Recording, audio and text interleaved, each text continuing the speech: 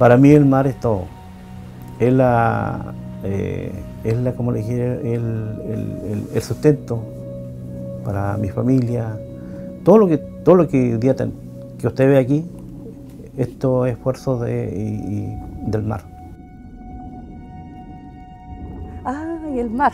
Oh, es como toda una vida. El mar para mí es como, no sé, este planeta debería, llamarse mar, hay mucho más mar que tierra.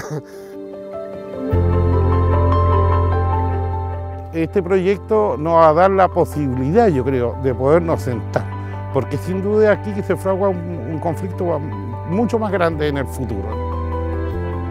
La importancia de desarrollar un proyecto de gobernanza en esta región tiene que ver con la sustentabilidad, tiene que ver con la búsqueda de innovación, con la búsqueda de explorar nuevas alternativas partir del patrimonio natural y cultural que tienen estos territorios.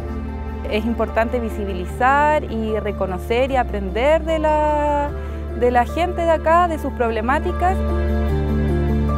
A futuro, uno de nuestros sueños eh, que comentamos es el turismo, desarrollar el turismo de avistamiento en la localidad, eh, tener una mayor conectividad, poder eh, generar una valorización de nuestros recursos y del trabajo de nuestra gente. No solamente podemos vivir de lo que nos da el mar, de los mariscos, de los moluscos, de los pescados, sino que de las actividades que se pudiesen desarrollar, pero no lo, hemos puesto, no le hemos dado como la importancia que tiene.